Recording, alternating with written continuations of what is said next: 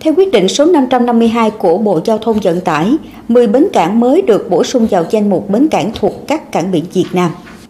10 bến cảng mới nằm trên địa bàn các tỉnh Quảng Ninh, Quảng Trị, Tiền Giang, Bến Tre, Trà Vinh, Bà Rịa Vũng Tàu và thành phố Hải Phòng.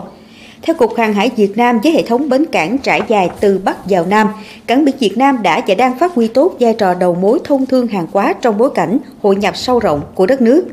Bên cạnh một số khu vực có khối lượng hàng hóa thông qua cao như khu vực Quảng Ninh tăng 48%, khu vực Quảng Trị tăng 38%, khu vực Nghệ An tăng 14%, thì nhiều khu vực cảng biển lại có khối lượng hàng hóa thông qua giảm như khu vực Bình Thuận giảm 38%, khu vực Cần Thơ giảm 24%, khu vực Đồng Tháp giảm 28%. Số liệu của Cục Hàng hải Việt Nam vừa công bố cho thấy, 3 tháng đầu năm 2022, khối lượng hàng hóa thông qua cảng biển giữ vững đà tăng, đạt gần 180 triệu tấn, tăng 4% so với cùng kỳ năm 2021.